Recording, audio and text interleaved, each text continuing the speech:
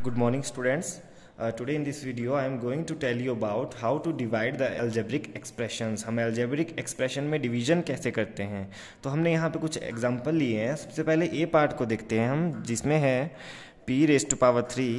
q raise to power six minus p raise to power six q cube and we have to divide this expression by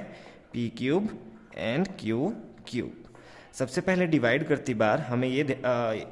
अगर जो हमारे पास numerator में जो term है, उसमें से हम कुछ कॉमन ले लेते हैं। अब कॉमन कैसे लेंगे? मान लो आपने P raised power three and P raised power six में से कुछ कॉमन लेना है तो आपको जो लोएस्ट पावर है पी की, वो कॉमन लेना पड़ेगी, ताकि जो बैलेंस बना रहे। अगर हमने हाईएस्ट पावर ले ली तो थ्री तो कॉमन आएगा नहीं कैसे भी फिर। इसलिए हम P raised power three common ले लिया and Q raised power six and Q raised power three में। लोएस्ट पावर थ्री तो हमने Q raised power three common ले लिया।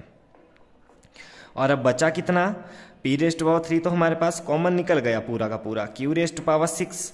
अंदर था क्यू रेस्ट पावर थ्री हमने कॉमन ले लिया means Q raised power three बचा सिर्फ़ एंड माइनस का sign as it is now P raised power three हमने कॉमन लिया था यहाँ पी रेस्ट पावर सिक्स है तो mean six minus three that is P raised power three बचा and Q raised power three पूरा common था कुछ भी नहीं बचा यहाँ पे अपॉन में जो था हमारे पास P raised power three and Q raised power three अब देखो P raised power three Q raised power three इसके साथ easily cancel out and we simply left with Q cube minus P cube and this is our final answer now uh, move to the next part that is 26xy x plus 5 and y minus 4 divided by 13x y minus 4 इसको हम पहले simple form में लिख लें divide करने पर divide करते बार twenty six X Y X plus five and Y minus four and we have to divide this expression by thirteen X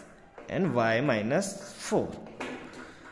अब यहाँ पे देखो, यहाँ पे वाई माइनस फोर है और ऊपर भी y माइनस फोर है। न्यूमिनेटर और डिनोमिनेटर में डिवाइड करते बार इजीली कैंसिल हो जाएँगे। हमें कुछ अभी कॉमन लेने की ज़रूरत ही नहीं पड़ी, क्योंकि हमारे पास जो कट रहा था, हमने वो पहले ही काट दिया।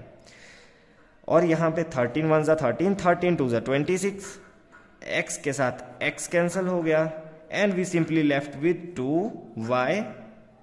and X plus five अगर आप कॉमन लेकर सॉल्व करते हैं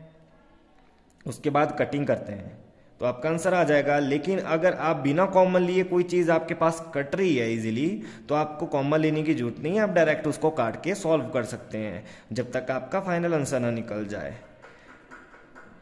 Okay thank you students and if you still have any doubt then please ask me in the online class I will solve your doubt